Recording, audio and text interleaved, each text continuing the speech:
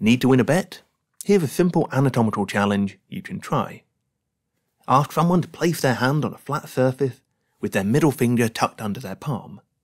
All they need to do is lift each of the remaining digits independently. Before they start, make sure they're gently pushing down on that middle digit and get them to start with their index finger. Next, see if they can lift their little finger. Finally, challenge them to lift their ring finger all by itself. At this point, their finger should stay locked in place, and you can accept their crushing defeat with your normal grace and humility. So, what's happening? Well, extension of the digits is primarily controlled by a single muscle, extensor digitorum longus. Although it starts with a single muscle belly, it finishes with four long tendons, one to each of the digits. However, these tendons don't stay entirely separate. As they move through the dorsum of the hand, we find tendinous connections between them.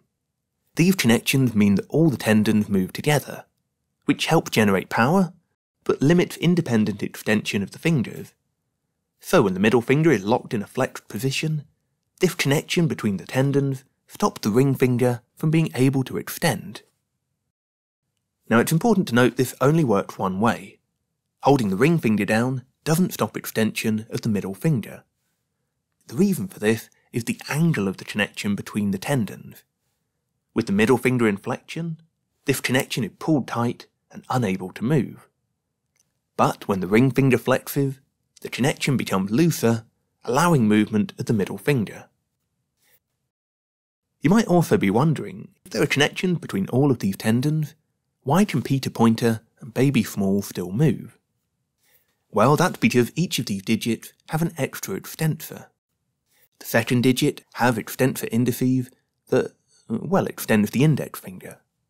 Meanwhile, the little finger can be extended using extensor digiti minimi.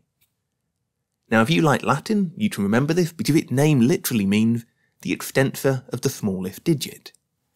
However, if you've seen Austin Powers, you might prefer to remember that Dr. Evil uses this muscle to extend his little finger, and his henchman is called Mini-Me.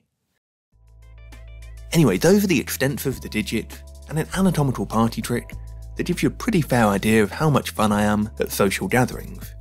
If you have any questions, please feel free to get in touch. But otherwise, thank you for watching, take care, and I'll hopefully see you soon.